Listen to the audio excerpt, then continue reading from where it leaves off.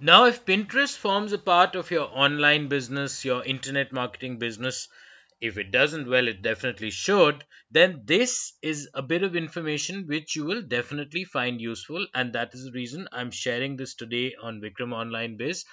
This essentially sums up the limits that you have as far as pins, boards, likes, and following is concerned. Because you know once you start off on pinterest you actually quickly keep going whereby you are often lo- you've lost track of the number of pins that you've had the number of boards that you've created and so on and so forth.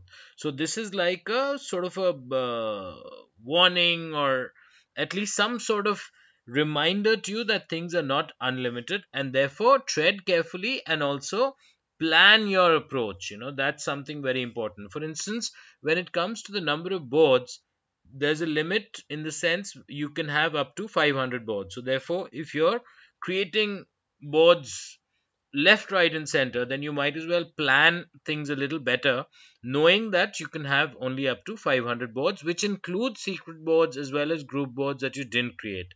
So bear the, keep this in mind then further, when it comes to pins, you can have up to 200,000 pins, which again includes secret pins as well as your pins on group boards that you didn't create.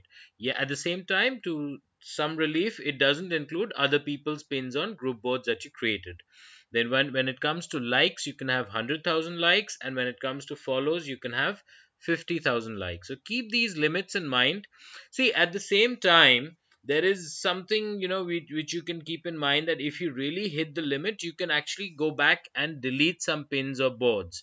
And you can also unlike pins or unfollow people. So that way you can get back. But then an easier approach would be to make sure that you keep your things under check and plan your things away. Because actually this is not that limited as well this is actually a fair number that 500 boards and 200,000 pins.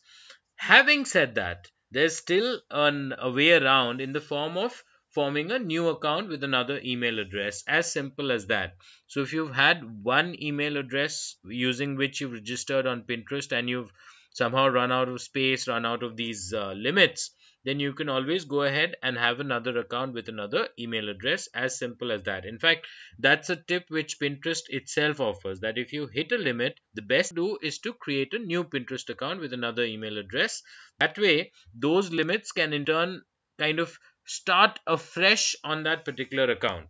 And whereby again you've say run out of uh, these limits then you can have yet another pinterest account. So that's something which you can use to keep yourself going on pinterest Having said that, against the entire uh, landscape of what I've uh, shared, I would say that as an internet marketer, as a savvy online marketer, as a savvy online business person, you should not spam and you should, of course, plan your things well.